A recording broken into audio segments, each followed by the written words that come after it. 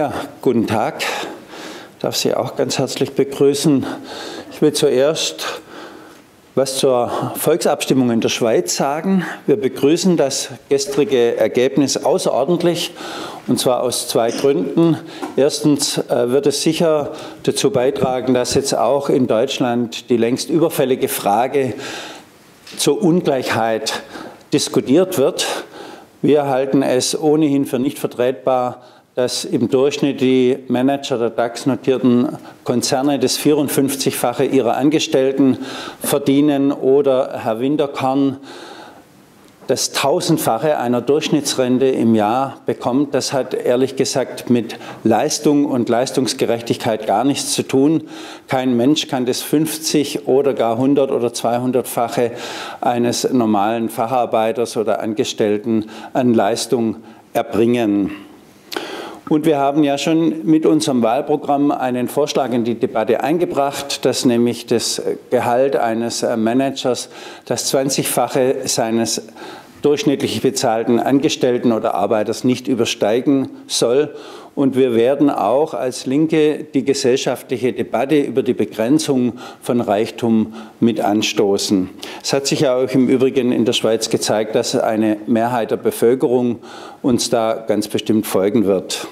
Zweitens, wir werden eine ebenso überfällige Debatte darüber bekommen, dass Volksabstimmungen über zentrale Fragen, die in der Gesellschaft anstehen, enorm wichtig sind. Auch wir sind dafür, dass das Volk über Kernfragen direkt abstimmen soll, sei es über die Frage, ob der Steuerzahler Hunderte von Milliarden aufbringen soll, um Banken, die sich verspekuliert haben, zu retten oder sei es eben auch über die Frage eines gesetzlichen Mindestlohns, über solche Fragen sollte die Bevölkerung mitentscheiden. Deswegen müssen Volksabstimmungen, äh, Bürgerentscheide und sowas erleichtert und ermöglicht werden. Das zweite Thema, auf das ich eingehen will, ist auf den Bundesratsbeschluss am Freitag zum gesetzlichen Mindestlohn. Wir bewerten diesen Beschluss als einen Meilenstein. Ein Rot -Rot eine rot-rot-grüne Mehrheit hat für einen gesetzlichen Mindestlohn gestimmt.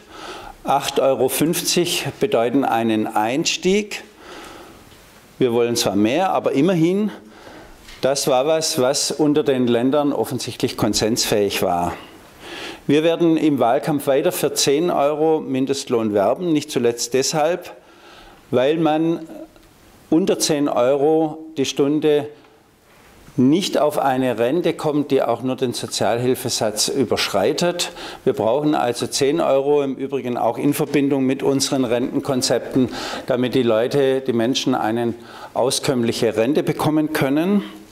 Und wir werden natürlich nach der Wahl eine Anhebung auf 10 Euro beantragen.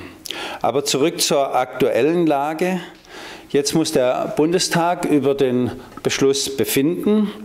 Die Opposition steht zum ersten Mal in einer zentralen Frage, leider erst vor Schluss der Periode, einig zum gesetzlichen Mindestlohn. Die Regierung streitet darüber, wie sie mit umgehen soll, einmal mehr. Ich glaube, Frau Merkel wäre gut beraten, von ihrer gewohnten Problemlösungsstrategie abzugehen, nämlich das Aussitzen. Sie wäre gut beraten, jetzt einen Mindestlohngipfel mit allen Parteien einzuberufen und einen Konsens für einen gesetzlichen Mindestlohn in Deutschland zu suchen. Dieser Konsens wäre längst überfällig. Das dritte Thema, das ich ansprechen will, ist Stuttgart 21. Gestatten Sie mir hier als Stuttgarter ein paar Bemerkungen dazu, zu diesem gigantischen Desaster. Ich sage es in aller Kürze, die Baden-Württemberger haben in einer Volksabstimmung diesem Gigantonomieprojekt äh, zugestimmt, aber unter anderen Voraussetzungen. Sie haben nämlich einen Kostenvorbehalt gemacht, der nun hinfällig ist. Deswegen wäre es das Ehrlichste, jetzt die Volksabstimmung zu wiederholen und den Menschen in Baden-Württemberg offenen Wein einzuschenken, was der tatsächliche Kostenrahmen äh, sein wird. In diesem Zusammenhang verstehe ich auch ehrlich gesagt die Haltung vom grünen Ministerpräsident Kretschmann ist, der ja vermeintlich gegen dieses Projekt ist, dass er immer wieder betont, dass das Ergebnis der Volksabstimmung steht, obwohl es doch unter ganz anderen Voraussetzungen gemacht wurde. Man kann heute schon voraussehen, dass äh, dieses Projekt doppelt so viel kosten wird, wahrscheinlich einen zweistelligen Milliardenbetrag, wenn es denn jemals überhaupt zu Ende geführt wird. In Stuttgart spricht man ja inzwischen nicht mehr von Stuttgart 21, schon, sondern von Stuttgart 24. Wir gehen auch davon aus, dass der Bundesrechnungshof jetzt noch mal genauer hinschauen wird.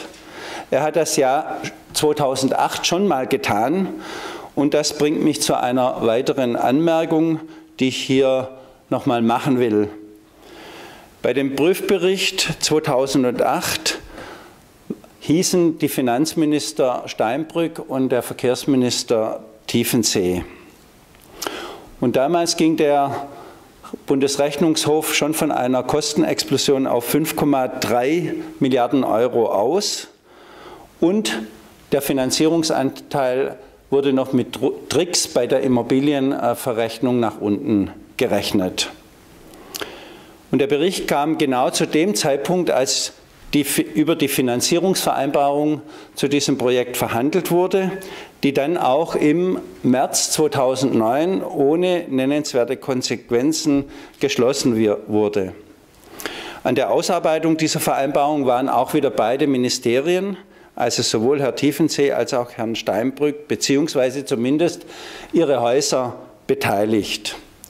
Ich fasse also zusammen, Herr Tiefensee und Herr Steinbrück konnten davon oder mussten davon ausgehen, dass über Gelder in dieser Größenordnung entschieden wird und sie müssen es eigentlich auch gewusst haben. Und sie wussten auch, dass hier durch Finanzierungstrick der Kostenanteil des Bundes heruntergerechnet wurde. Im Kern hat der Bund durch den Verzicht auf die Verrechnung der Erlöse aus den Grundstücksverkäufen einen Gutteil der Mehrkosten getragen. Der Rechnungshof schätzt diese Erlöse auf ungefähr 1,4 Milliarden Euro. Und im Kern bleiben die Kosten bei den Steuerzahlern hängen.